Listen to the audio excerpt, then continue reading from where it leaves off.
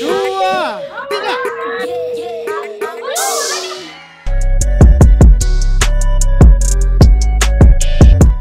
Halilintar dan Aurel Hermansyah umumkan jenis kelamin calon bayinya.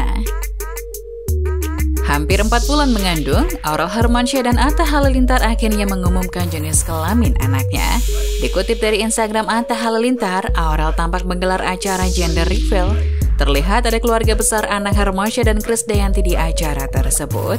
Semuanya kompak mengenakan pakaian bertema biru dan pink. Atta Halilintar lalu mengumumkan jenis kelamin anaknya yakni perempuan.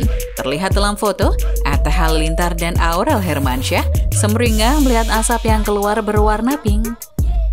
Hal itu menandakan bayi yang dikandung Aurel Hermansyah merupakan perempuan. It's a baby girl. Makasih ya Allah, semoga jadi anak soleha. Tulis Atta dikutip tribunjakarta.com Sabtu 28 Agustus. Di postingan berikutnya, Atta Halilintar mengunggah kebersamaannya bersama keluarga besar. Atta bercerita, Ashanti dan Krisdayanti menebak jenis kelamin calon bayi Aurel adalah laki-laki. Rupanya, tebakan calon nenek baby Aha ini meleset.